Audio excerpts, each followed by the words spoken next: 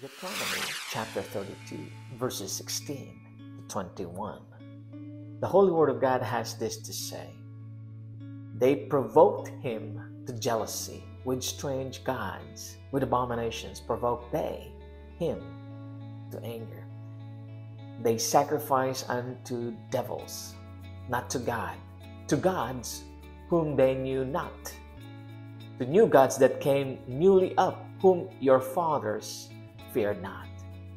Of the rock that begat thee, thou art unmindful, and hast forgotten God that formed thee. And when the Lord saw it, he abhorred them because of the provoking of his sons and of his daughters. And he said, I will hide my face from them. I will see what their end shall be, for they are a very froward generation, children in whom is no faith.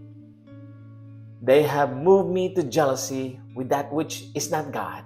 They have provoked me to anger with their vanities, and I will move them to jealousy with those which are not a people.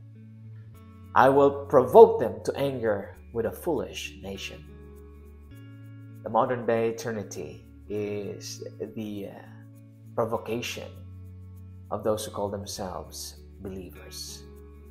Trinity doctrine is one of those new gods that the past do not know and our faith fathers do not fear.